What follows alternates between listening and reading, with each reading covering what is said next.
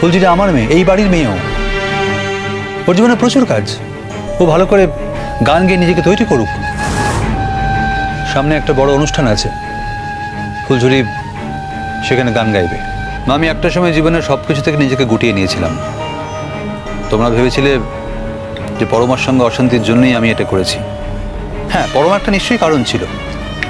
কিন্তু তার থেকে বড় কারণ ছিল আমার আমার সন্তানকে কাছে না পাওয়ার কষ্ট। সেই যন্ত্রণা। আজ যখন আমি আমার সেই সন্তানকে আবার ফিরে পেয়েছি, মা, আমি আবার আগের মতোই সব কিছুর মধ্যে নিজেকে মেলে ধরবো।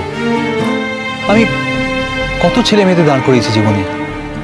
সেখানে আমার মেয়েটা আমার চোখের সামনে ভেসে যাবে, তা কি হয়, মা?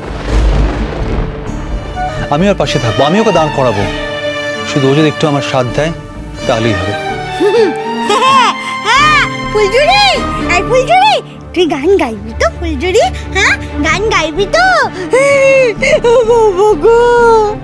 আমার ফুলঝুরি গান গাইবে। কত লোক কত লোক আসবে আমার ফুলঝুরি গান গাইবে, সেটা দেখতে আসবে সবাই।